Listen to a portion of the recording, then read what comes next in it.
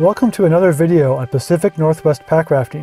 Today we float the Sauk River in pack rafts about 8 miles from just upstream of the White Chuck River and down to Blackman County Park near Darrington. We started by hiking about a quarter mile up the Beaver Pond Trail to put in on the river just upstream of Rocky Road Rapid.